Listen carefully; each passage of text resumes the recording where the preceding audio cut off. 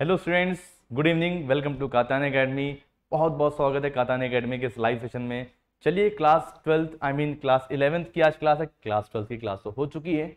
और आज का लाइव सेशन बहुत ही खास है क्योंकि आज हम अपने चैप्टर एनिमल किंगडम में काफ़ी कुछ आगे डिस्कस करने जा रहे हैं। उसके पहले जैसा कि आप जानते हैं free classroom program Katan academy ने लॉन्च किया हुआ है क्लास नाइन्थ टू ट्वेल्थ के लिए। Physics chemistry maths and biology students आप सभी स्टूडेंट्स इस लाइव क्लास को एंजॉय कर सकते हैं। डाउट डिस्कशन होगा क्वेश्चन बैंक टेस्ट पेपर और रिकॉर्डेड लेक्चर्स भी आपको प्रोवाइड किए जाएँगे। Clear and after that class ninth और ट्वेल्थ की जो क्लासेस होंगी वो हमारे कात्यान एकेडमी नाम के यूट्यूब चैनल पे होंगी। चैनल को सब्सक्राइब करिए और बेल आइकॉन को प्रेस करिए। जबकि क्लास टेंथ और इलेवेंथ की जो क्लासेस हैं, ये कात्यान एकेडमी लाइव नाम से जो हमारा यूट्यूब चैनल है, इस पर होंगी। और इस चैनल को सब्सक्राइब करिए। और बेल आइकन को, यानी घंटा को दबा दीजिए ताकि आपको टेंथ और इलेवेंथ के सारे लाइव वीडियो लेक्चर्स मिल सकें। तो जो भी आपके रिस्पेक्टिव क्लासेस से जुड़ा हुआ जो लेक्चर होगा, वो आपको उसका नोटिफिकेशन शो करने लगेगा। चलिए, अब हम एक बहुत ही अच्छे अचीवमेंट की बात करते हैं कात्यान एकेडमी के। एजुकेशन अवेयरनेस प्रोग्राम जो 2021 से 2022 सेशन के लिए लॉन्च किया गया है, जिसमें कात्यान एकेडमी सभी स्टूडेंट्स को चाहे वो कहीं पे भी रहते हों इंडिया में कहीं पे भी नाइन्थ टू ट्वेल्थ तक free of cost classes live classes arrange करा रही हैं प्रोवाइड करा रही हैं साइंस स्टूडेंट्स के लिए physics chemistry maths and biology की। सो ये ज़्यादा ज़्यादा बेनिफिट आप सभी को मिल सके, इसके लिए सभी लोग लगातार जुड़ जाइए हमसे। और देखिए, बहुत सारे स्कूल्स अलग अलग डिस्ट्रिक्ट्स के, यहाँ तो अभी बहुत ही कम है, बहुत लंबी लिस्ट है, जो इस एजुकेशन अवेयरनेस प्रोग्राम में हम सभी को हेल्प कर रहे हैं। जैसे कि सनबीम पब्लिक स्कूल है गाज़ीपुर में, ये भी काफ़ी सपोर्ट कर रहे हैं। हमारे इस एजुकेशन अवेयरनेस प्रोग्राम से काफ़ी अट्रैक्ट है। And Gauri Shankar public school है गाज़ीपुर का, ये भी काफ़ी ज़्यादा जो है हेल्थ सपोर्टिव नेचर के हैं। और सभी स्कूल्स जो हैं वो आपका सपोर्ट कर रहे हैं अप्रिशिएट कर रहे हैं कातन एकेडमी के इस एफर्ट को। Ramdoot international school Ghazipur and M public school Ghazipur ने भी काफ़ी इंटरेस्ट शो किया है अपने इस एजुकेशन अवेयरनेस प्रोग्राम में और सपोर्ट भी किया है। स्टूडेंट्स चलिए। आज हम अपने चैप्टर फोर यानी कि एनिमल किंगडम के थर्ड लेक्चर को आगे कंटिन्यू करते हैं। Lecture three animal kingdom clear है? ठीक है। चलिए, बहुत सारे प्यारे प्यारे स्टूडेंट्स हमसे जुड़ चुके हैं। Shikha Yadav good evening Shikha ji. And Avantika Singh, good evening. आज क्योंकि काफ़ी सीज़न चेंज हो चुका है, बारिश का मौसम है, धूप हो रही, गर्मी हो रही है तो थोड़ा सा सीज़न या वेदर चेंज होने की वजह से आपको प्रिकॉशंस रखने चाहिए। मुझे भी रखने चाहिए थे बट मैंने नहीं रख पाया। इस वजह से हल्का सा फीवर है और हल्का सा जो फ्लू टाइप का होता है ना नॉर्मल जो सीजनल फ्लू होता है, वो भी हो गया। तो गले का थोड़ा थोड़ा कह सकते हैं, गला भारी है। आवाज़ इतनी प्रॉपर आपको नहीं मिलेगी। शायद मैं कोशिश करूँगा कि सब कुछ प्रॉपर हो। ठीक है ना? चलिए। आगे डिस्कस करते हैं और आगे क्लास को प्रोसीड करते हैं। सो so, स्टूडेंट्स समझते हैं नर्वस सिस्टम को। Nervous system so nervous system हम लोग लास्ट वन पे डिस्कस कर रहे थे कि जो नर्वस सिस्टम होता है इसकी जो बेसिक यूनिट होती है स्ट्रक्चरल और फंक्शनल यूनिट होती है उसे बोलते हैं न्यूरॉन्स ठीक है ना? और आगे चल के जो ये नर्व सेल्स होती हैं या न्यूरॉन्स होते हैं ये आपस में मर्जअप हो जाते हैं। और कोऑर्डिनेट करके नर्वस सिस्टम बन जाते हैं या किसी तरह की जो भी आपकी बहुत सारी एक्टिविटीज़ हैं बॉडी की, है ना? अलग अलग एक्टिविटीज़ को ये कंट्रोल करने में कोऑर्डिनेट करने में हेल्प करते हैं। इंपॉर्टेंट है। अब डिपेंड करता है नर्वस सिस्टम किस लेवल ऑफ़ ऑर्गेनाइजेशन का है। यानी कि अगर लोअर लोअर फाइलम्स में है तो गैंग्लियन लेवल तक होगा और हायर फाइलम्स में है तो और अपर लेवल तक डेवलप होगा। वेल ऑर्गेनाइज नर्वस सिस्टम होगा है ना? सो so, अब हम डिस्कस करते हैं एंडोक्राइन सिस्टम एंडोक्राइन सिस्टम चलिए तो एंडोक्राइन सिस्टम के बारे में अगर हम देखें तो एंडोक्राइन सिस्टम में हमने डिस्कस किया एंडोक्राइन ग्लैंड्स के बारे में। इन्हें हम डकलेस ग्लैंड्स भी बोलते हैं ये बात हमने आपको बता दी थी। हमारी बॉडी में अलग अलग फ़ंक्शंस को परफॉर्म करने के लिए बहुत सारे एंजाइम्स और हार्मोन्स रिस्पॉन्सिबल होते हैं। एंजाइम्स आपकी एक्जोक्राइन डक्ट से आई मीन ग्लैंड से निकलते हैं, जो आपकी डक्ट वाली ग्लैंड्स होती हैं। जबकि जो हमारे हॉर्मोन्स होते हैं, ये एंडोक्राइन ग्लैंड से निकलते हैं। यानी कि ऐसी ग्लैंड जो डक्टलेस होती हैं, ऐसी ग्लैंड को क्या बोलते हैं? एंडोक्राइन ग्लैंड्स बोलते हैं। दी सिक्रीट हॉर्मोन्स ये हॉर्मोन सिक्रीट करती हैं।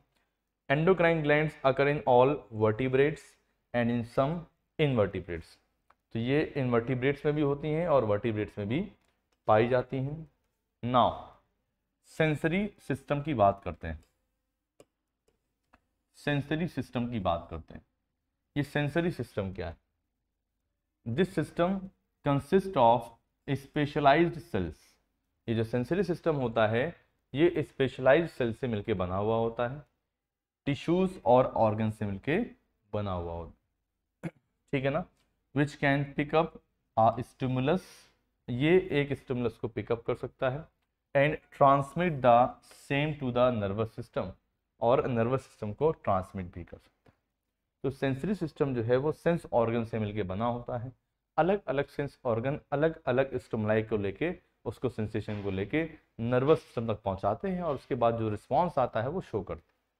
तो सेंसरी ऑर्गन अगर अपने ह्यूमन बॉडी की बात करें, आप बचपन से पढ़ते चले आ रहे हैं फाइव सेंसरी ऑर्गन्स है ना? आइज़ ईयर नोज़ स्किन और टंग ये फाइव सेंसरी ऑर्गन आपने भी पढ़े होंगे, है ना?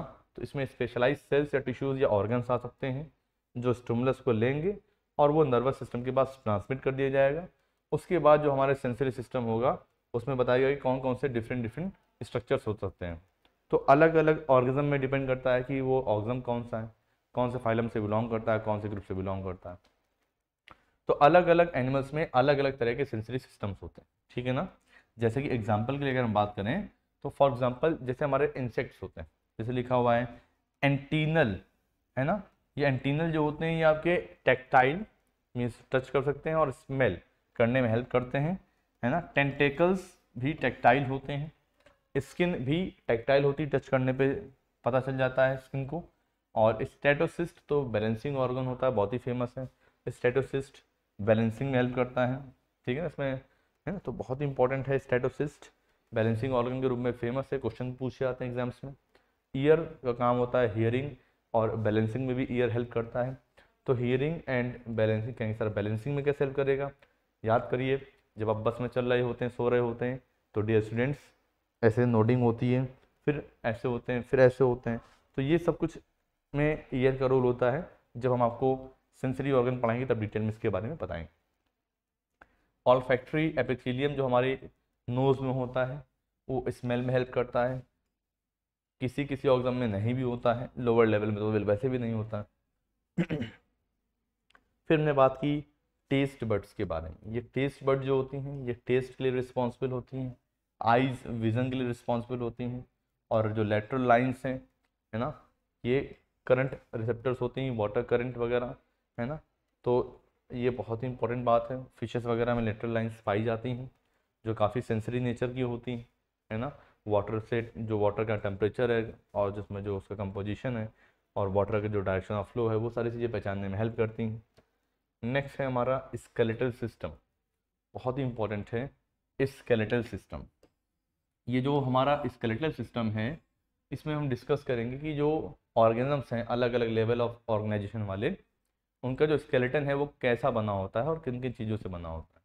तो बहुत ही आसान सी बात है कि जिनका लेवल ऑफ़ ऑर्गेनाइजेशन काफ़ी लो है तो उनमें इसका इतना स्केलेटन सिस्टम बहुत ज़्यादा डेवलप नहीं होगा। सिंपली फाइबर से बना हो सकता है या यूनिसेलर है तो फिर स्केलेटन सिस्टम की बात ही नहीं करेंगे वहाँ तो है ना? और हायर ऑर्गन की बात करेंगे तो बोन्स कार्टिलेज टेंडेंस लिगामेंट्स ये सब आते हैं। So skeleton system is a hard internal और external framework that provide support and shape to the body so जो हमारा स्केलेटल सिस्टम है, ये काफ़ी हार्ड होता है। इंटरनल या एक्सटर्नल फ्रेमवर्क होता है, जो कि सपोर्ट प्रोवाइड करता है। जो कि सपोर्ट प्रोवाइड करता है और शेप देता है बॉडी को। स्केलेटन सिस्टम शेप देता है। बिल्कुल सही बात। हमारी बॉडी में स्केलेटन सिस्टम ही ऐसा है जो बॉडी को शेप देता है। Some animals which are devoid of a skeleton have soft body बिल्कुल सही बात है। जिनमें स्केलेटन या हार्ड कंपोनेंट्स बॉडी में होते नहीं है बोन्स वगैरह होती ही नहीं है ऑब्वियसली बात है उनकी बॉडी सॉफ्ट होगी। जैसे कि platyhelminthes platyhelminthes aschelminthes and annelids helminthes एस्कल helminthes और annelids now skeleton system can be of following type तो स्केल्टन सिस्टम जो है, ये हमारा कुछ इस तरह का हो सकता है। जैसे पहला है हमारा एक्जोस्केल्टन और दूसरा होता है हमारा एंडोस्केलेटन जो स्केलेटन बॉडी के अंदर पाया जाएगा, उसे बोलेंगे एंडोस्केलेटन जैसे हमारे बोन्स हैं लिगामेंट्स हैं कार्टिलेज हैं, ये एंडोस्केलेटन फॉर्म करेंगे। जबकि एक्जोस्केलेटन की बात करेंगे तो ये बॉडी के बाहर का स्केलेटन सिस्टम ठीक है ना? चलिए तो बॉडी के बाहर का जो स्केलेटन सिस्टम है, वो हमारा एक्जोस्केलेटन होता है। जैसे कि it is the hard supporting and protective framework of the है ना, जो कि बॉडी के एक्सटर्नल सरफेस पे, जैसे कि नेल्स हैं स्किन है हॉर्न्स हैं हूफ्स हैं, है ना। एनिमल्स में जो आपके सींगे होती हैं हॉर्न्स एंड जो खुर होते हैं हूफ्स वगैरह, उसकी बात हो रही so it is the hard supporting and the protective framework present on the exterior of the body and it is made of the non living matter example हो जाएगा एक्सटर्नल शेल्स, जो हमारे एक्सटर्नल शेल्स होते हैं उसमें, of mollusc, cuticle of arthropods, scales of fishes and reptiles. यहाँ पे जो आपके हार्ड स्केल्स होते हैं, फिशेस और रेप्टाइल्स में, है ना? फेदर्स ऑफ़ बर्ड भी एक्जोस्केल्टन का ही एग्ज़ाम्पल है, बहुत इंपॉर्टेंट बात है। And the hairs, hooves, nails, horns, claws of the mammal. पंजे क्लॉज कितने नुकसानदायक होते हैं ना, शेर वगैरह के बिल्ली पंजा मार देती तो कितना काफ़ी ज़्यादा पेनफुल होता है। तो क्लॉज ऑफ़ द मैमल्स क्योंकि कैट भी मैमल में आती है। हॉर्न्स सींगे, गाय सींग मार देगी, भैया बॉर्डर लगता है हमको तो। नील्स तो हम ही लोग के बहुत बड़े बड़े और लड़कियाँ तो बहुत ही बड़े बड़े नील्स रखती हैं। पता नहीं किसका हत्या करना उनको। हूफ्स की बात कर रहे हैं, है ना, खुर जो होते हैं, है ना, जिसके थ्रू वो घोड़ा टिकलिक टिकलिक चलता है, दौड़ता है क्लियर है ना? चलिए।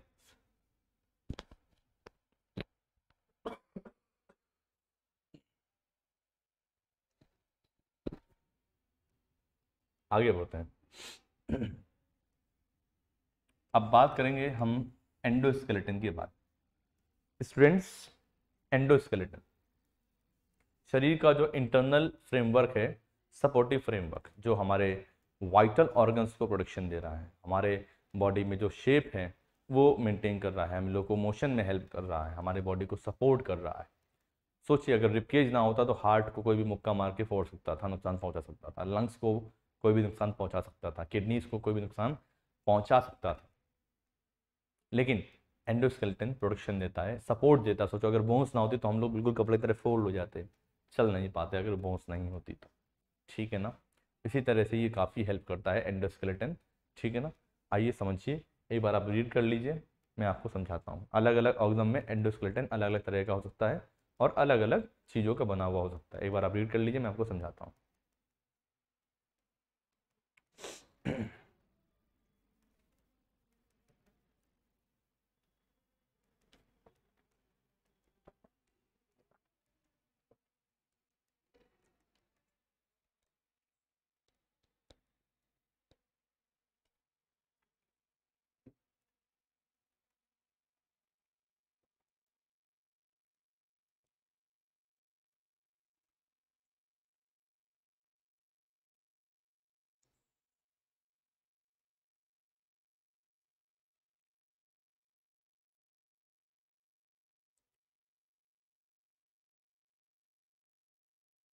ओके? आई होप आप सभी ने इसको रीड कर लिया होगा। ठीक है ना? तो शिखा बोल रहे हैं ये सर क्लियर है। Very good Shikha. समझ में आ रहा है? आज थोड़ी सी वीकनेस या तबीयत खराब होने की वजह से हम आराम आराम से चल रहे हैं। चीज़ों को बहुत ही आराम से डिस्कस कर रहे हैं। कोई भी जल्दी नहीं, बिल्कुल भी जल्दबाजी नहीं करेंगे। ठीक है ना? चीज़ों को बहुत आराम से समझेंगे। तो आराम से तो वैसे भी समझते थे। आज कुछ ज़्यादा ही आराम से चल रहे हैं। जल्दी तो पहले भी नहीं रहती थी। ठीक है ना? So we are talking about the endoskeleton so endoskeleton क्या है? मैंने बोला सपोर्टिव फ्रेमवर्क अलग अलग ऑग्जाम में अलग अलग चीज़ों का मिलकर बना हुआ हो सकता है। अब आइए इसके बारे में एक बार रीडिंग कर लेते हैं। जैसे मैंने आपको बताया कि ये हार्ड सपोर्टिंग फ्रेमवर्क होता है जो कि बॉडी के अंदर, यानी कि इंटीरियर होता है। Interior of the body and in invertebrates such as sponges अगर स्पॉन्जेस जैसे इनवर्टिब्रेट्स की बात करेंगे तो ये बना होता है कैलकेरियस और सिलिशियस स्पिक्यूल्स का। स्पिक्यूल्स कांटे जैसे स्ट्रक्चर्स होते हैं, जो कि सिल्का के बने हुए होते हैं। And in invertebrates it is compose of hard living tissue invertebrates में हार्ड लिविंग टिश्यू होता है। इनवर्टिब्रेट्स की बात हो रही है बच्चों हार्ड लिविंग टिश्यू लेकिन यही हम बात करें, अगर हम वर्टिब्रेट्स में तो वर्टिब्रेट्स में आप जानते हैं मतलब वर्टिब्रेट्स यानी हम लोग तो उसमें बोन्स होती हैं कार्टिलेज हो सकता है। अब कॉमन सी बात है जनरली इन वर्टिब्रेट्स में तो एंडोस्केल्टन नहीं मिलेगा। हाँ हाइड्रोस्टेटिक या फ्लूड जो है, वो अगर स्केल्टन सिस्टम प्रोवाइड करा तो बात अलग। जनरली इन वर्टिब्रेट में स्केल्टन नहीं मिलता। हाँ वर्टिब्रेट्स में मिलता है जो कि बोन्स और कार्टिलेज से बना हुआ होता है। Endoskeleton supports whole body of an organism जो एंडोस्केल्टन है, ये बॉडी के सारे के, यानी कि जो भी ऑर्गेजम है, उसके सारे बॉडी पार्ट्स को सपोर्ट करता है। है ना? जो हाथ खड़ा करना है, नहीं खड़ा कर पा रहे क्यों? क्योंकि बोन्स ही नहीं है अंदर तो नहीं खड़ा कर पाएँगे। लेकिन हाँ बोन्स है तो हम कर लेते हैं ऐसा ना। फिंगर्स मूव कर लेते हैं just because of bones skeleton system काफ़ी सपोर्ट करता है हमको, ठीक है ना? चलिए, सिर्फ़ बोन्स ही रिस्पॉन्सिबल नहीं इस मूवमेंट के लिए।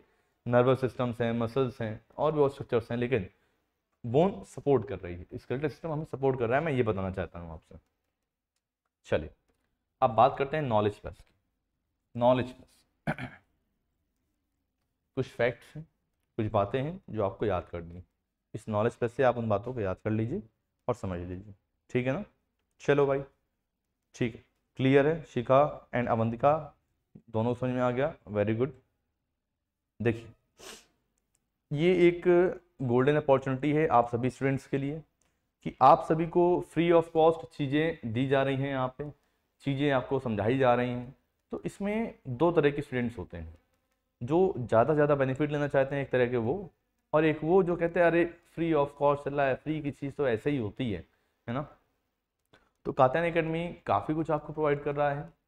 आप क्लासेस में आइए क्लासेस में क्वेश्चंस को पूछिए और अपने डाउट्स को डिस्कस करिए। आपको ज़रूर कुछ ना कुछ सीखने को मिलेगा। हाँ वही चीज़ आप कहीं और दूसरी जगह पे पेमेंट दे के भी कर सकते हैं। नो no डाउट कोई बुराई नहीं है। आप जाके पढ़ सकते हैं बट अभी फ़िलहाल as per the government orders अभी क्लासेस कहीं पे भी ऑन या ओपन नहीं हुई हैं, अभी इंस्टीट्यूट्स ओपन नहीं हुए हैं। तो मुझे ऐसा लगता है कि पढ़ने का सबसे अच्छा तरीका या पढ़ने वाले बच्चों के लिए सबसे अच्छा मीडियम ऑनलाइन प्लेटफॉर्म ही और ऑनलाइन प्लेटफॉर्म में भी कई अलग अलग प्लेटफॉर्म होते हैं। जैसे कि बड़े बड़े जो फ़ेमस प्लेटफॉर्म्स हैं, मैं नाम नहीं लूँगा किसी का, उनमें क्या है कि बहुत ही प्रोफेशनल टीचर्स वो इंग्लिश टू इंग्लिश आपको पूरा समझाएँगे। है ना? हर एक चीज़ को समझाने की कोशिश करेंगे और आएँगे, अपने वे में पढ़ाएँगे और चले जाएँगे। But there is no interaction between और specific interaction between the students and teacher clear so आज आप यहाँ पे देख सकते हैं कि किस तरह से मैं आपसे पूछता हूँ। क्लियर है? आप लोग रिप्लाई करते हैं यस सर क्लियर है। आप कोई क्वेश्चन पूछते हैं डाउट पूछते हैं, मैं उसको भी समझाता हूँ। हर एक बच्चे पे ध्यान दिया जाता है। तो इससे ज़्यादा पर्सनल अटेंशन कहाँ मिल सकता है? है ना? और सबसे बड़ी बात एज अ प्रोफेशनल टीचर जो मैं सिर्फ़ ये नहीं कि मैं आपको इंग्लिश में आऊँ और बहुत ही अच्छी तरह से प्योर इंग्लिश में पढ़ा के पूरा चला जाऊँ मैं उस लैंग्वेज का यूज़ करता हूँ जिसमें आपको अच्छे समझ में आए। अगर आपको इंग्लिश में समझ में आ रहा है तो मैं प्योर इंग्लिश भी पढ़ा सकता हूँ। अगर आपको हिंदी में समझ में आ रहा है तो मैं प्योर हिंदी में पढ़ा सकता हूँ। But generally we use mix language ताकि दोनों तरह के स्टूडेंट्स को सारी चीज़ें समझ में आने लगे। Mix language is the best ठीक है ना? तो भाई, थोड़ा सा ध्यान दीजिए चीज़ों को समझने में। ताकि आप ज़्यादा ज़्यादा बेनिफिट उठा सकें, है ना? चलिए, अब आते हैं नॉन में इस पॉइंट्स को एक बार आप देख लीजिए, याद कर लीजिए, याद करने वाले पॉइंट्स हैं फैक्ट्स हैं, एक बार आप देख लीजिए, मैं रीड करा दूँगा।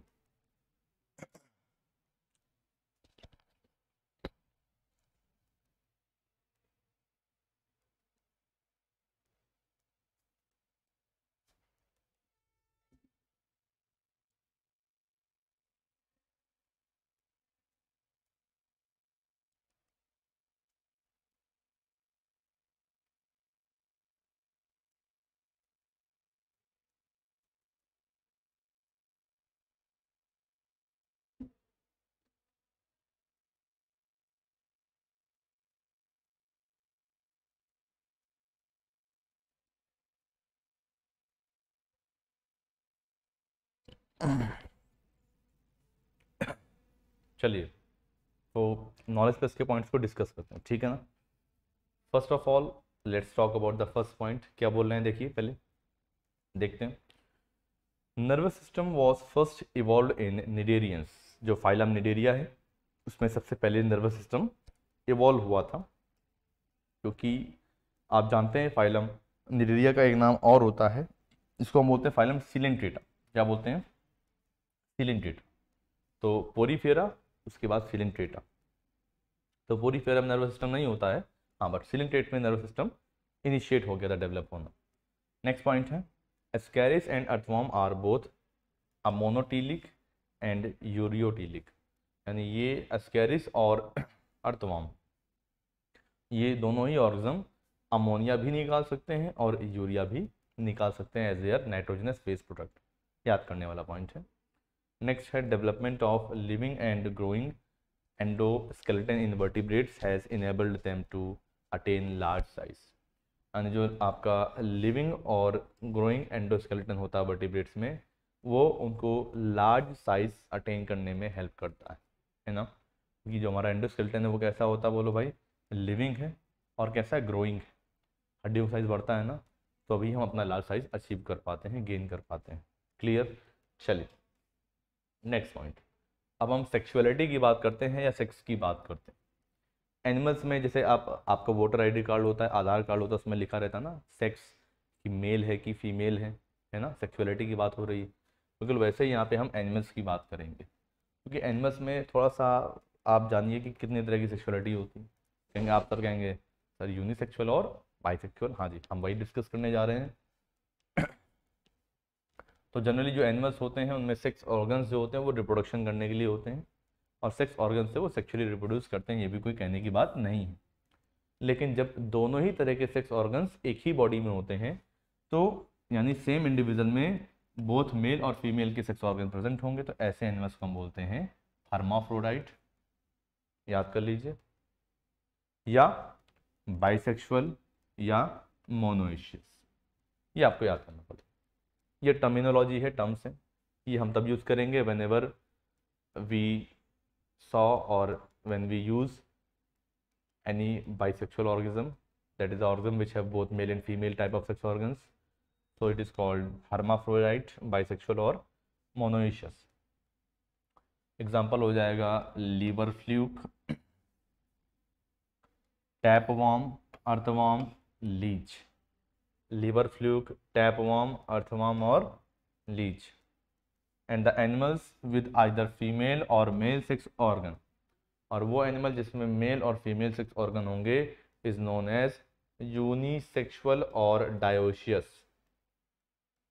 वो एनिमल जिसमें मेल या फीमेल सेक्स ऑर्गन होंगे उन्हें क्या बोलेंगे यूनिसेक्सुअल या डायोशियस बोलेंगे एग्ज़ाम्पल है हमारा frog and lizard birds and dog, birds और dog भी होते हैं etc so when the male and the female can be distinguished on the basis of external features, the condition is called sexual dimorphism. बताइए जी, क्या बोला? हमने बात की सेक्सुअल डाइमॉर्फिज्म की। सेक्सुअल डाइमॉर्फिज्म क्या है? सेक्सुअल डाइमॉर्फिज्म का मतलब होता है कि भैया जब मेल और फीमेल्स को उनकी सेक्सुअल या सेक्सुअलिटी के बेसिस पे डिफ्रेंशिएट किया जाए। जैसे कि lion and lioness man and women peacock and peahen etcetera ठीक है ना? तो ये हमारे एग्जाम्पल्स हो गए। देखिए, ये है हमारा अर्थवॉर्म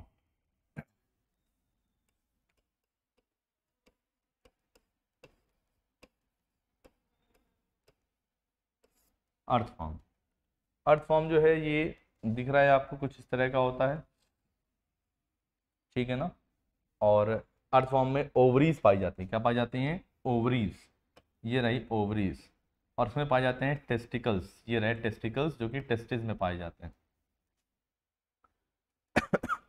ठीक है ना? तो ओवरीज होते हैं और क्या होते हैं बोलो भाई? टेस्टिकल्स होते हैं। अर्थवॉर्म ये बात इंपॉर्टेंट है और याद कर लीजिएगा। अर्थवॉर्म दोनों ही एक ही, दोनों ही सेक्स ऑर्गन यानी क्योंकि टेस्टिस तो मेल में होते हैं और ओवरीज तो फीमेल में होती हैं तो दोनों ही सेक्स ऑर्गन एक ही बॉडी में है। मतलब ये बाइसेक्चुअल है हर्माफ्रोडाइट है और मोनोइशियस जबकि अब यहाँ देखेंगे तो ये हमारे कॉकरोच हैं। कॉकरोच का ये लोअर एबडोमिनल सेक्शन है, यहाँ पे गोनेडियल रीजन है, जहाँ पे आपको ये seminal vesicles vas deferens ejaculatory duct और साथ में यहाँ पे आपको और भी स्ट्रक्चर दिखेंगे लाइक टेस्टिस दिख रहा है, जो कि मेल्स में होता है। यानी कि मेल कॉकरोच है। This is a male cockroach clear जबकि इस डायग्राम को देखिए this is a female cockroach क्योंकि यहाँ पे ओविडक्ट ओवरी ये प्रेजेंट तो कॉकरोच में अलग अलग बॉडी पे अलग अलग सेक्स ऑर्गन है दैट इज़ ये आपका यूनिसेक्सुअल हो। ये क्या हो गया बोलिए? यूनिसेक्सुअल यूनिसेक्सुअल हो गया। अब बात करते हैं बच्चों रिप्रोडक्शन तो डियर स्टूडेंट्स रिप्रोडक्शन की अगर बात की जाए तो reproduction can be either asexual और it may be sexual depending upon the involvement of gametes gametes का इन्वॉलमेंट है तो सेक्शुअल और नहीं है तो फिर ए सेक्शुअल हो जाएगा। ए सेक्शुअल रिप्रोडक्शन को हम पहले डिस्कस करते हैं। सारी बेसिक बातें हम डिस्कस करते हैं। एक बार आप रीड कर लो ए सेक्शुअल रिप्रोडक्शन को। रीड कर लीजिए।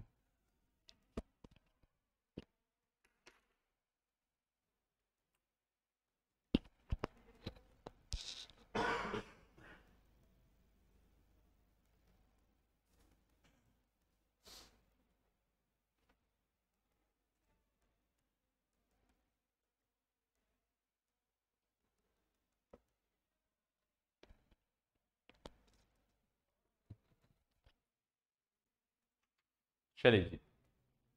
हमने क्या बात की? हमने बात किया रिप्रोडक्शन दो तरह का होता है सेक्सुअल और ए सेक्सुअल पहले हम डिस्कस करेंगे ए सेक्सुअल ए सेक्सुअल में गैमिट्स का इन्वॉल्वमेंट नहीं होगा। एक ऐसा रिप्रोडक्शन जिसमें यूजन नहीं होता गैमिट्स का गैमिट्स का इन्वॉल्वमेंट कहीं से भी नहीं होगा। And it is found in the lower animals ये कहाँ पाया जाएगा? बोलिए लोअर एनिमल्स में पाया जाएगा। Like sponges coelentrates, annelids, platyhelminthes, and the common methods are budding, fission, fragmentation and regeneration. तो फिजन है बडिंग है फ्रेगमेंटेशन है और रीजनरेशन ये हमारे कॉमन मेथड है। Now let's talk about sexual reproduction so it involves formation and fusion of gametes इसमें formation हो रहा है और फ्यूजन हो रहा है। Gametes का and the male gamete called sperms and the are motile male gametes को क्या बोलते हैं स्पम्स बोलते हैं और ये मोटाइल होते हैं and the female gametes called ova are generally non motile जो फीमेल गैमीट्स होते हैं, ये क्या होते हैं? ओवा होते हैं। और ये कैसे होते बताइए? नॉन मोटाइल ठीक है ना? अब बात करते हैं फर्टिलाइजेशन फर्टिलाइजेशन क्लियर है सारी बातें? समझ में आ रही हैं? चलिए तो फर्टिलाइजेशन अगर कहीं पे भी, किसी भी पॉइंट पे आपको कोई दिक्कत लगती है, आप तुरंत मैसेज के थ्रू है ना कमेंट लाइव कमेंट करके आप पूछ सकते हैं, मैं आपको उसको शॉर्ट आउट कर दूँगा प्रॉब्लम को। तो fertilisation fertilisation in animals is of two types पहला है हमारा एक्सटर्नल फर्टिलाइजेशन एक्सटर्नल फर्टिलाइजेशन में as a name suggest body के बाहर होगा। तो animals such as many invertebrates बहुत सारे इनवर्टिब्रेट्स हैं some marine fishes and most amphibians shed both egg and sperms into water where the fertilization and development occurs. This is called external fertilization. एक साथ mail और female ने अपना gamete release कर दिए वाटर में क्योंकि एक्सटर्नल फर्टिलाइजेशन में इट रिक्वायर्स मीडियम इसको मीडियम की रिक्वायरमेंट होती है बात बहुत इंपॉर्टेंट जनरली वाटर में ही होता है बॉडी के बाहर होना तो हवा में थोड़ी ना हो जाएगा। गैमिट्स रिलीज़ किए जाएँगे मेल फीमेल दोनों अपने गैमिट रिलीज़ करेंगे वाटर में, वहाँ पे ये हो जाएगा। जैसे कि हम फीमेल्स लाइक फ्रॉग में होता है है ना? और साथ में फिशेस में होता है। आइए डायग्राम से इसको समझते हैं।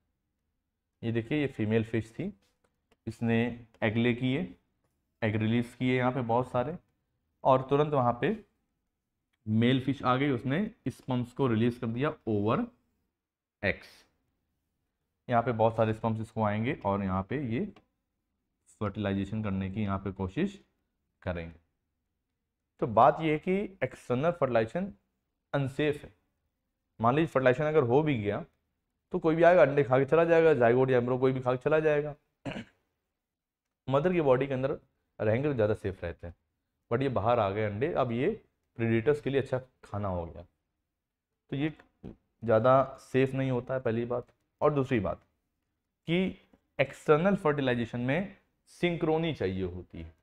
सिंक्रोनी का मतलब होता है सामंजस्य। ऐसा नहीं है कि फीमेल ने एगले कर दिए और मेल कह रहा, भैया, हम तो जा रहे हैं वाटर पार्क घूमने, है ना? हम तो जा रहे हैं थोड़ी सी मौज मस्ती करने। नहीं synchrony means on that time male has to release sperms male को स्पम्प भी रिलीज़ करने होते क्लियर तो ये बात है। मेल को उस टाइम पे स्पम्प भी रिलीज़ करने होते हैं। Next point let's talk about internal fertilisation internal fertilisation जैसा मैंने आपको बताया कि जब बॉडी के अंदर फर्टिलाइजेशन होगा तो उसे क्या बोलेंगे? इंटरनल फर्टिलाइजेशन सो क्लियर है ये बात? समझ में आ रही है? जैसे कि आपके जो लैंड एनिमल्स होते हैं, उनमें क्या होता है? इंटरनल फर्टिलाइजेशन होता है। जैसे हम लोग हैं बॉडी के अंदर होता है, ये काफ़ी सेफ़ होता है। ये काफ़ी सेफ़ होता है क्योंकि जो बेबीज़ होते हैं, वो बॉडी के अंदर रहते हैं। तो in the land animals in the some aquatic animals the sperms are introduce by the male into the reproductive tract of the female during copulation तो कॉपुलेशन या क्वाइटस के टाइम पे जो मेल होता है, वो स्पम्स को फीमेल रिप्रोडक्टिव ट्रैक्ट में इंसेमिनेट या इंट्रोड्यूस करा देता है। And this is called internal fertilization यानी कि मेल अपने स्पम्स को गैमिट्स को फीमेल की बॉडी में इंट्रोड्यूस करा रहा अब ये डायग्राम देखें। ये है टेस्टिकल्स मेल्स के, ये मेल रोस्टर है। ये कपोलेशन के प्रोसेस में इन्वॉल्व है। और मेल क्लोइका के थ्रू गैमिट्स को फीमेल क्लोइका तक पहुँचा रहा है। और ये ओविडक्ट के अंदर यहाँ पे बहुत सारे ओवरी हैं और ये एक्स अंदर यहाँ प्रेजेंट है। नीचे हैन है। तो रोस्टर और हैन के बीच में एक कपोलेटरी प्रोसेस होगा, जिसमें रोस्टर्स मेल क्लोइका के थ्रू सीमेन यानी स्पम्स को मेल गैमिट्स को फीमेल क्लोइका के अंदर पहुँचा देंगे, जहाँ से वो ओविडक्ट से होते हुए आगे चल के फर्टिलाइजेशन कराएँगे। ठीक है ना? तो ये बॉडी के अंदर फर्टिलाइजेशन हो रहा है। तो इस तरह से जब फर्टिलाइज बाहर आएगा तो उससे बेबी प्रोड्यूस होगा बाद। ठीक है ना? आगे देखिए। अब बात करते हैं ओवी पेरस एंड वीवी पेरस की। Oviparous and viviparous animals ये ओवी पेरस क्या होता है? ओवी पेरस एंड वीवी पेरस ओवी पेरस का मतलब होता है egg laying animals and viviparous का मतलब होता है वो एनिमल्स जो बर्थ देंगे यंग वंस को, है ना, जन्म देंगे। ज़रूरी नहीं है बेटा कि जिसमें इंटरनल फर्टिलाइजेशन हो, वो वीवी पेरस ही, वो ओवी पेरस भी होता है। जैसे आपका भी जो लास्ट डायग्राम था, मुर्गी वाला, है ना तो उसमें इंटरनल फर्टिलाइजेशन ही हो रहा है बट वो oviparous so animals all the animals with the external fertilization है ना? And many with the internal fertilization such as reptiles and birds lay egg तो बहुत सारे एनिमल्स हैं जिनमें एक्सटर्नल फर्टिलाइजेशन होता है और बहुत सारे ऐसे भी हैं जिनमें इंटरनल फर्टिलाइजेशन होता है। उसके बावजूद वो क्या करते हैं? एग ले करते हैं। एंड दे आर कॉल्ड ओवी पेरस इन्हें क्या बोलते हैं? ओवी पेरस बोलते हैं। And some animals with the internal fertilization give birth to young और पर्टिकुलरली देखो, जिसमें एक्सटर्नल फर्टिलाइजेशन हो गया उसमें वीवी पैरिटी नहीं पाई जाएगी बाहर एक बार फर्टिलाइजेशन हो गया तो बाहर हो गया, फिर वापस वो बॉडी के अंदर नहीं जाएगा हाँ लेकिन अगर इंटरनल फर्टिलाइजेशन है तो दो ऑप्शन है। आगे चल के एगले हो सकता है फर्टिलाइजेशन के बाद फर्टिलाइज एग अंदर से बाहर आ सकता है एगलेइंग यानी ओवी परस कंडीशन आ सकती है, या फिर सीधे पूरा मेच्योर बेबी बाहर आएगा बॉडी के, यानी कि viviparous condition so some animals with internal fertilization give birth to young ones संख्या मोस्टली ही देते हैं। And such animals are of two type कितने टाइप के होते हैं? दो तरह के होते हैं। ये एनिमल्स भी दो तरह के होते हैं। ओवो ओवोविविपरस एनिमल्स स्टूडेंट्स ओवो ओवोविविपरस का मतलब ये होता है कि ये एनिमल्स लार्ज अमाउंट में हैवी अमाउंट में हैवी साइज़ के ये हैवी योग वाले एग प्रोड्यूस करते हैं। Heavy yolk means large amount में stored food yolk means stored food that develop in the reproductive tract of the mother without deriving nourishment from her. तो वो मदर की बॉडी में ही रहेंगे, उससे नरिशमेंट नहीं लेंगे, क्योंकि ऑलरेडी इसमें योग है। बट मदर की बॉडी में रहेंगे सेफ्टी पर्पज के लिए। और बाद में वो बाहर आ जाएँगे, अंडे फूट जाएँगे अंदर और बेबी बाहर आ जाएगा, जैसे रेटल स्नेक में और शार्क शार्क ओवो परस होती है, ये बात याद कर लीजिएगा। शार्क इज़ अ परस ठीक है ना? एन इज़ ओवी परस वेरी गुड शिखा ने बोला। एन इज़ ओवी परस बिल्कुल सही बताया आपने। ठीक। सही बताया। अब वीवी परस की बात करते हैं। Viviparous animals produce minute eggs जो वीवी परस होते हैं, उनमें छोटे छोटे एग बनते हैं। और एम्ब्रियो जो होते हैं वो डेवलपमेंट के टाइम पे मदर की बॉडी से नरिशमेंट लेते हैं, जैसे हम लोगों में। हम लोगों के, यानी ह्यूमन बींग्स में भी एग बनता है ये बहुत छोटा होता है फीमेल्स में बनता है। और उस एग में स्टोर्ड फ़ूड भी नहीं होता। तो वो एग जब फर्टिलाइज हो जाता है जायकोट बनता है एम्ब्रियो बनता है तो जो बेबी डेवलप हो रहा होता है फीटस वो मदर की बॉडी से ही नरिशमेंट लेता है। और आगे चल के क्या होगा? वो जो एम्ब्रियो होगा, जो नरिशमेंट ले रहा है है ना? वो आगे जेनेटेड ट्रैक्ट से बर्थ लेगा, यानी ये हो गया वीवी परस जो कि मैमल्स होते हैं। ठीक है ना? चलिए, अब ओवीपरस की बात कर रहे थे। ओवीपरस जो ओवीपरस एनिमल्स होते हैं, इसमें जो न्यूली हैज़ यंग वंस होते हैं, ये अपने अडल्ट से रिसेंबल कर सकते हैं या नहीं भी कर सकते हैं। मेटामॉर्फोसिस भी बाद में हो सकती है। And this kind of development is called the direct development generally जो जो चिल्ड्रन डायरेक्टली मेच्योर हो कि अपने पेरेंट्स से रिसेंबल करेंगे, ऐसे डेवलपमेंट को बोलते हैं डायरेक्ट डेवलपमेंट लेकिन कभी कभी क्या होता है कि जो यंग वंस जो एग हैच करते हैं, वो अपने एडल्ट से रिसेंबल नहीं करते जैसे मुर्गी के बच्चा देख के बता दें कि हाँ ये मुर्गी का बच्चा है ना? लेकिन कभी कभी ऐसा स्ट्रक्चर आता है, ऐसा ऑर्गन बनता है जो अपने एडल्ट से रिसम्बल नहीं करता है। और इन्हें हम बोलते हैं लार्वा क्या बोलते हैं? लार्वा और निम्फ जैसे बच्चों बटरफ्लाई में देखिए बटरफ्लाई में जब एग्स से उसका जो बच्चा निकलता है, उसे हम लार्वा बोलते हैं या कैटापिलर बोलते हैं। लार्वा या कैटापिलर कहीं से भी बटरफ्लाई से मैच नहीं करता है। मीन्स उसमें डेवलपमेंट कैसा हुआ? इनडायरेक्ट कैसा हुआ? इनडायरेक्ट डेवलपमेंट ठीक है ना? वेरी गुड सही बताया शिका ने कि प्लेसेंटा से नरिशमेंट मिलता है हम लोगों में ह्यूमन बींग्स में? सही है। तभी हम लोग के एग में योग नहीं होता मीन्स हमारे एग होते हैं एलिसाइथल कैसे होते हैं? एलिसाइथल बिल्कुल योग नहीं होता। तो लार्वा स्टेज जो होगी या निम्फ स्टेज जो होगी, ये दिखाता है कि इनडायरेक्ट डेवलपमेंट हो रहा है। जो बेबी बन रहा है, जो जो नया ऑर्गन बन रहा है, वो एडल्ट से रिसेंबल नहीं कर रहा। Larva lead independent life for some time जो लार्वा होता है, इसमें इंडिपेंडेंट लाइफ पाई जाती है कुछ समय के लिए। And later undergo important changes आगे चल के इसमें कुछ इंपॉर्टेंट चेंजेस भी आते हैं टू बिकम एडल्ट ताकि ये एडल्ट वगैरह बन सके। This changes from larvae to adult are called metamorphosis इसे क्या बोलते हैं? मेटामॉर्फोसिस ये जो चेंजेस होते हैं लार्वा से एडल्ट के, इसे क्या बोलते हैं? Metamorphosis and this kind of development is called indirect development इसे क्या बोलते हैं? बोलिए इनडायरेक्ट डेवलपमेंट क्योंकि ये जो आज लार्वा बना है, ये आगे चल के एडल्ट जैसा दिखेगा, लेकिन अभी नहीं दिख रहा है, इसलिए इंडायरेक्ट डेवलपमेंट और आगे जब ये लार्वा एडल्ट में दिखने लगेगा, उसके लिए कुछ स्टेजेस से होकर गुजरना पड़ेगा। उस प्रोसेस को बोलते हैं मेटामॉर्फोसिस तो मेटामॉर्फोसिस के प्रोसेस के थ्रू ही कोई लार्वा अपने एडल्ट जैसा दिखता है, उसमें चेंजेस आते हैं। ठीक है ना? और ऐसा डेवलपमेंट कैसा कहलाता है बताइए? इनडायरेक्ट डेवलपमेंट बहुत इंपॉर्टेंट है इनडायरेक्ट डेवलपमेंट कहलाता है। ठीक है? अब बात करते हैं नॉन कोरिटा की किसकी बात करते हैं बताइए? नॉन कोरिटा की बात करते हैं। एक बार रीड कर लीजिए, मैं समझाता हूँ। है ना? नॉन कोरिटा को रीड कर लीजिए, मैं समझाता हूँ।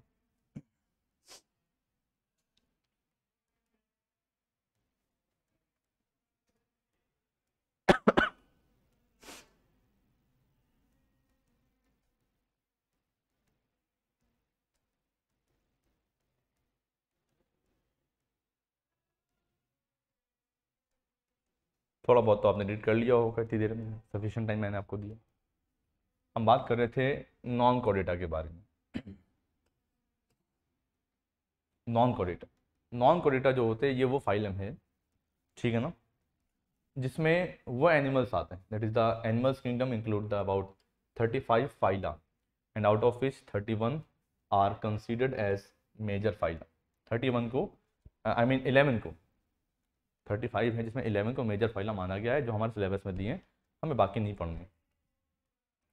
तो इन एनिमल्स को हम दो ग्रुप में डिवाइड कर सकते हैं, on the basis of presence of notochord. Notochord है तो आपके कॉर्डेट्स में आ जाएँगे, और नहीं है तो फिर नॉन कॉर्डेट्स में आ जाएँगे। सीधी सी बात, पैसे हैं तो आप अमीर हैं, नहीं है तो गरीब हैं। तो नोटोकॉल्ड है तो फिर आप कॉर्डेट हो गए। और नोटोकॉर्ड नहीं है, एब्सेंस है तो नॉन कॉर्डेट हो गए। सीधी सी बात है, ठीक है? Now they have they can also be classified on the basis of presence और एब्सेंस ऑफ़ वर्टिब्रल कॉलम इनको हम क्लासीफाइड कर सकते हैं प्रेजेंस और एब्सेंस ऑफ़ वर्टिब्रल कॉलम के बेसिस पे या बैकबोन के बेसिस पे।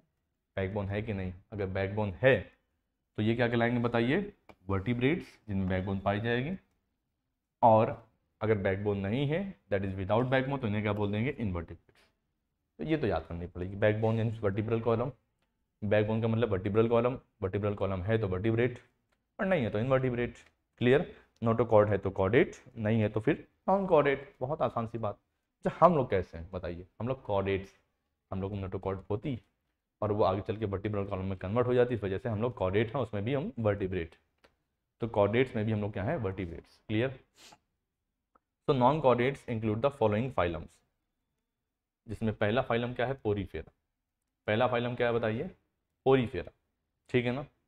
चीज़ें समझिए बात को। समझ में आनी चाहिए। तो स्टूडेंट्स लेकिन एक बात मैं आपको बताना चाहूँगा कि फाइलम पोरीफेरा की बात हो रही है यहाँ पे। उसके पहले मैंने आपसे बोला कि 11 फाइलम हमको पढ़ने हैं। और बहुत समय से मैं इसी समय का इंतज़ार कर रहा था कि मैं आपको सारे फाइलम्स याद कराऊँ। और मैंने कुछ स्टार्टिंग चार फाइलम आपको याद कराए थे पी सी सी पी एक ट्रिक बता के। तो आइए, आज उनको हम थोड़ा सा डिस्कस करते हैं। मैं एक सेकेंड वेट करिएगा। थोड़ा सा।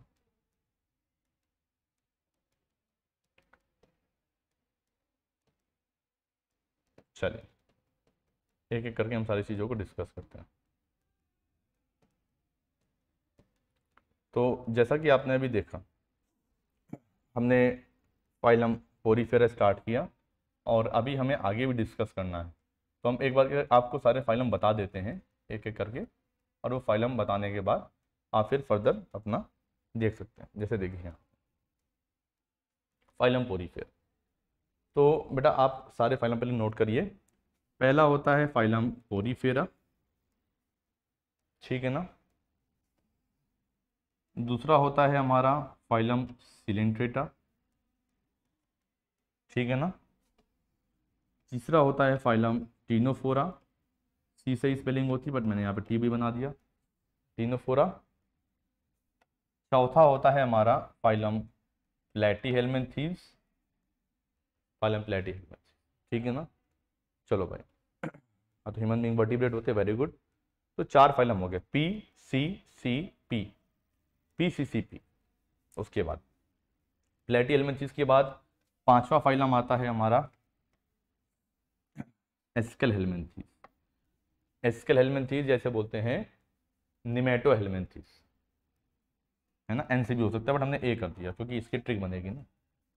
और उसके बाद छठवा आता है हमारा एनेलिडा अर्थवाम वाला फाइलम छठवां है एनेलिडा और सातवां है हमारा आर्थ्रोपोडा सातवां क्या बताइए? आर्थ्रोपोडा ठीक है ना? फिर नवा क्या है?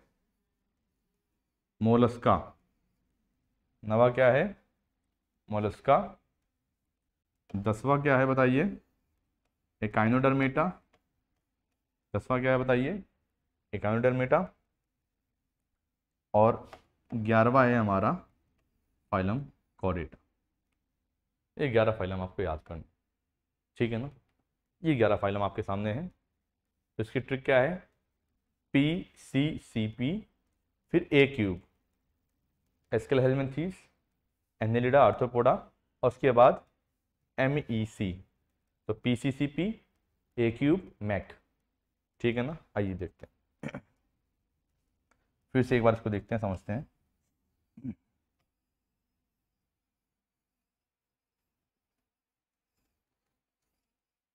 देखिए। यहाँ समझिए बेटा।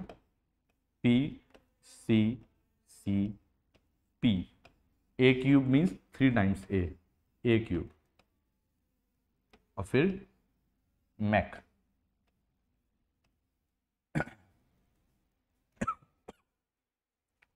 तो स्टूडेंट्स आइए, इनको हम इलेबोरेट करते हैं, समझते हैं।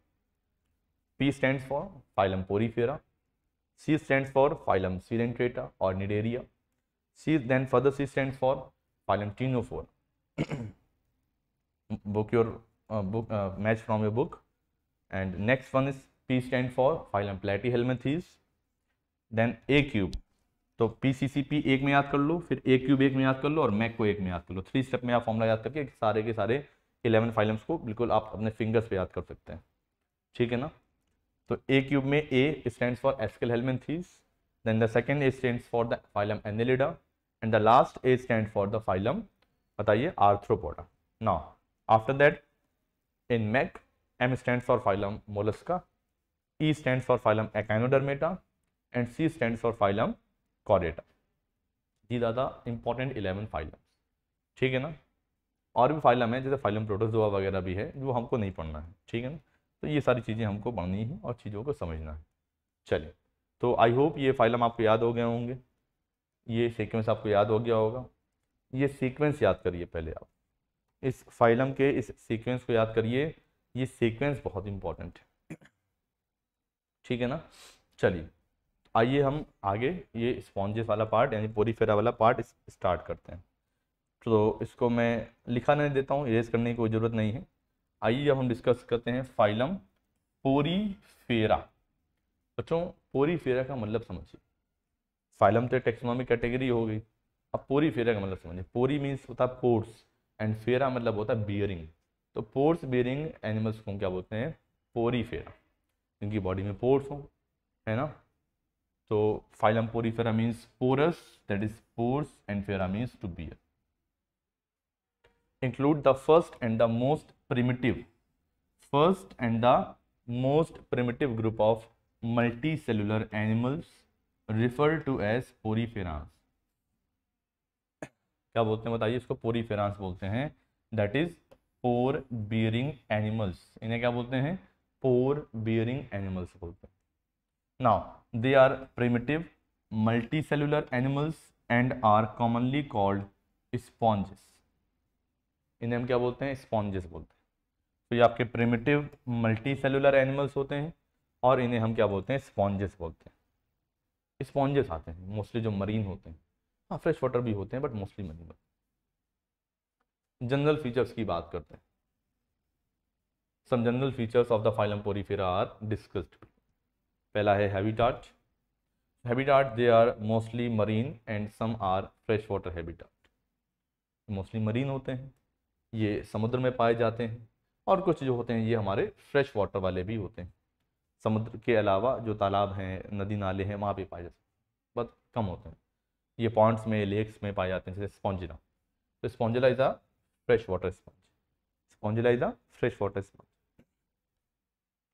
चलिए। नाउ नोट पॉइंट की बात करते हैं। पोरीफेरांस यानी स्पॉन्जेस जो और भी जो पोरीफेरक मेंबर्स हैं इनकी स्टडी को हम क्या बोलते हैं? पैराजोलॉजी। क्या बोलते हैं? पैराजोलॉजी। तो पैराजोलॉजी क्या है? Is the study of poriferans ये एक फैक्ट है, आपने इसको याद कर लिया। ठीक है ना? ना even though they are multi cellular हाँ ये मल्टी सेलुलर होते हैं they do not have tissue grade of organisation cells तो बहुत सारी हैं बट सेल्स एग्रीगेट नहीं है। सेल्स में लूजली अरेंजमेंट है लूज एग्रीगेट है। इनमें टिश्यू लेवल का ऑर्गेनाइजेशन नहीं पाया जाता है, नहीं पाया जाता है। समझ में आया? मीन्स इनमें टिश्यू लेवल का ऑर्गेनाइजेशन नहीं है क्योंकि सेल्स लूजली पैक्ड होती हैं लूज एग्रीगेशन पाया जाता है। क्लियर है ना? ठीक। चलो, सही है। ये देखिए स्पॉन्ज है ये, एक वाटर में एक्वेटिक स्पॉन्ज है है ना? ये जो मरीन एनवायरनमेंट में पाया जा रहा है। अब बात करते हैं सिमेट्री पीछे देखिए, क्या कोई सिमेट्री दिख रही है? क्या हम इसको ऐसे कट करेंगे तो ये दो हाफ़ में डिवाइड होगा इक्वल नहीं होगा। क्या हम ऐसे कट करेंगे तो होगा? टू आर्म्स यहाँ चलेगी टू आर्म्स यहाँ चलेगी बट इक्वल नहीं आ रही। एक नीचे, एक ऊपर। है ना? ये कहने का मतलब। तो पूरी फाइनेंस में सिमेट्री नहीं होती बेटा। सिमेट्री नहीं होती है। ये बात याद कर लीजिए। सो द सिलेंड्रिकल फॉर्म्स की बात करें, जैसे कि हमारा साइकॉन होता है, इसमें रेडियल सिमेट्री हो सकती है। रेडियल सिमेट्री सिलेंड्रिकल फॉर्म में होगी सिलेंड्रिकल फॉर्म सिलेंड्रिकल है तो फिर कहीं से भी कट करो इक्वल हाफ़ डिवाइड होगा cylinder but most of the sponge जो होते हैं, वो इरेगुलर शेप के होते हैं एंड हैव नो सिमेट्री अरे शेप ही कैसा हो गया? इरेगुलर हो गया तो क्या सिमेट्री होगी? नो सिमेट्री नेक्स्ट है बॉडी वॉल इनकी जो बॉडी वॉल होती है, इसमें आउटर डर्मल लेयर होती है, जिसे हम पिनेकोडम बोलते हैं। आउटर डर्मल लेयर को पिनेकोडम बोलते हैं, जबकि जो इनर गैस्ट्रल लेयर होती है, इसे हम क्या बोलते हैं? Choanoderm it is called choanoderm the pinacoderm contains flat cells pinacoderm में फ्लैट सेल्स होती हैं कॉल्ड पिनेकोसाइट्स इन्हें क्या बोलते हैं, बताइए?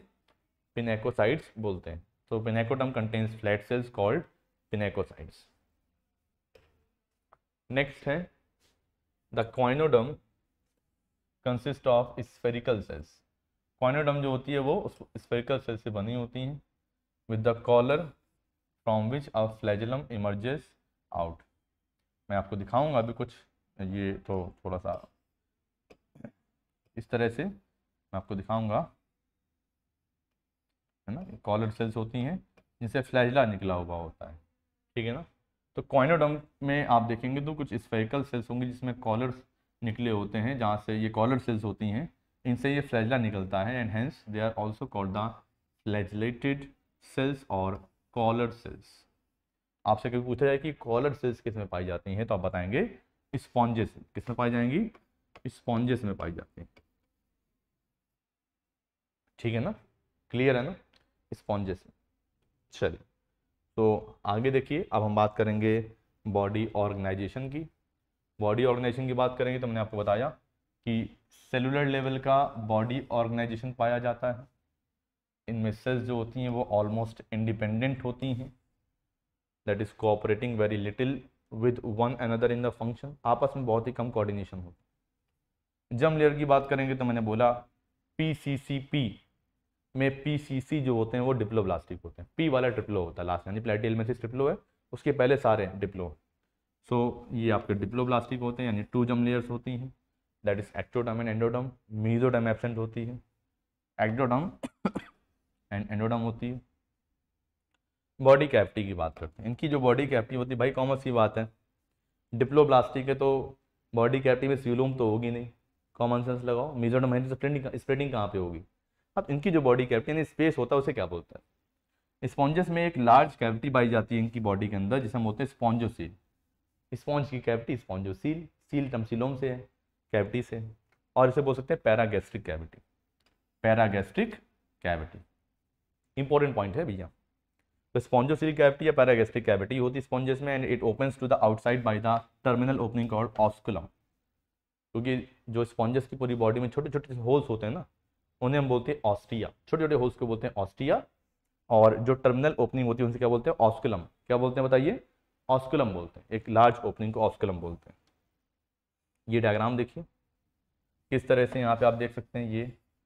आप देखिए यहाँ पे ये स्पिक्यूल्स प्रेजेंट हैं, जो उनका स्केलेटन फॉर्म करेंगे। वाटर ऑस्ट्रिया के थ्रू अंदर जाता है छोटे छोटे पोर्स के थ्रू अंदर जाता है और ऑस्कुलम से बाहर आता है। ये कैविटी जो दिख रही है spongocoel cavity. This is the spongocoel cavity. और ये देखिए आप यहाँ पे ध्यान दीजिए बच्चों। ये आपको दिख रही होंगी यहाँ पे कॉलर सेल। कॉइनोसाइट्स और कॉलर सेल। ये कॉलर सेल दिख रही है। इसमें ये फ्लैजला भी ऐसे दिख रहा होगा। आप ठीक है ना? ये कॉलर सेल्स हैं, कॉइनोसाइट्स हैं। तो चलिए, आज के इस सेशन में हम यही तक रखते हैं। इनके स्केलेटन सिस्टम और कैनाल सिस्टम के बारे में हम डिस्कस करेंगे नेक्स्ट ठीक है ना? आज समय हो चुका है घड़ी ने इशारा कर दिया है। आज की क्लास को यहीं पे फिनिश करते हैं और आज की क्लास को हमने काफ़ी अच्छे से देखा और सब कुछ आराम से हो गया, क्योंकि तबीयत भी ख़राब थी। तो कोई बात नहीं, बहुत अच्छा रहा आज का सेशन धीमे धीमे बढ़ते गए और काफ़ी कुछ हमने डिस्कस कर लिया। नेक्स्ट सेशन पे बहुत जल्दी मिलेंगे आपसे, है ना? और आगे बढ़ेंगे पूरे जोश के साथ। थैंक यू बच्चों जुड़े रहने के लिए। आगे भी हमारे साथ जुड़े रहिए और दूसरों को भी जोड़िए ताकि ज़्यादा ज़्यादा बेनिफिट वो उठा सकें। Thank you